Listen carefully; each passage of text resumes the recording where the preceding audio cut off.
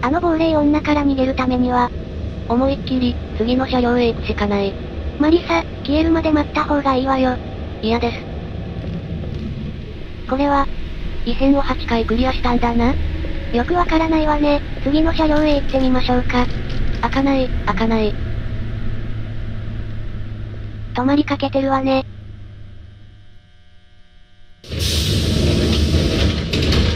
終点の8番だが、降りていいの？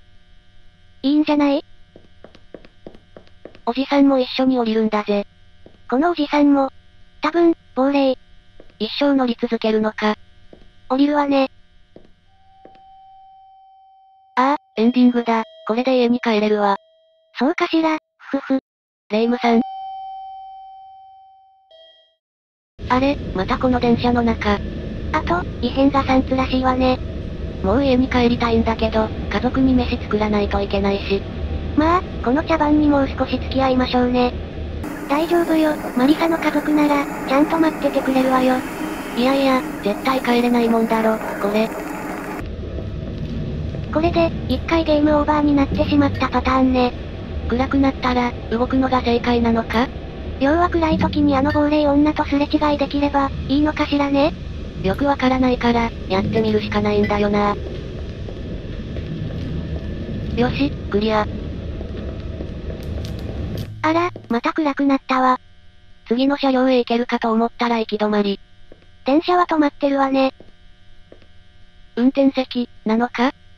マリサ何してるのよ？亡霊がいるかどうか、周りを見てるんだ。ドアが開いてるところあるから、そこから調べるしかないわよ。ここ？怖いんだけど。それなら、後ろの車両に行ってみたい。マリサ、諦めなさいよ。後ろ行ったって何も変わらないわよ。もうやだ、早く家に帰らせてくれ。何度も言うけど、ドアが開いてるところを調べましょうね。ドアが開いてるところは全部で3箇所。ここから、見てみましょうね。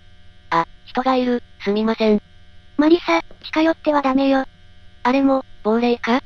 これは、人がいない開いてるドアを、調べた方がいいわね。次の開いてるドアへ行こうか。次はここね。ここはいないが、念のためにもう一つも、見ておこうか。そこまでしなくても。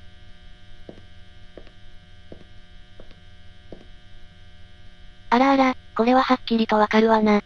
さっきの真ん中の開いてるドアに行きましょうね。ここが正解だったのか。電気がついた、よかった。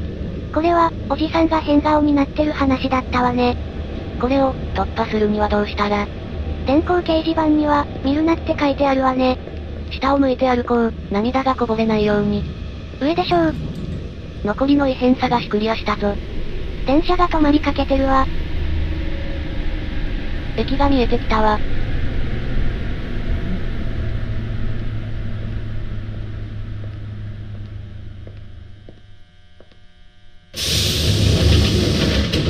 これは異変0番駅かい終点の8番駅よ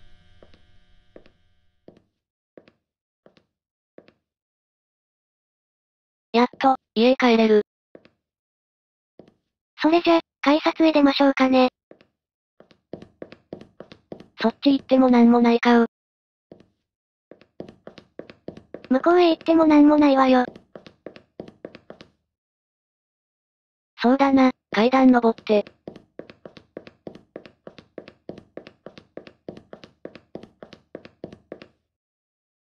レイム、トイレないの？そうね、改札の外にあるのかしらね？左に行ってみるか。なんかどこかで見たことのある通路ね。もう、何も考えたくないんだけど。この通路は、まさか。じゃあ、8番出口だ。これもちゃんとやった方がいいのかしらね？う。そして、あのおじさん。エンディングよ。これはこれで、なかなか面白かったわ。散々、怖いだの、家に帰りたいだの、言ってたマリサが何を言ってるのよ。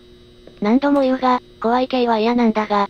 刑事をやってたマリサが、怖いものあるなんて。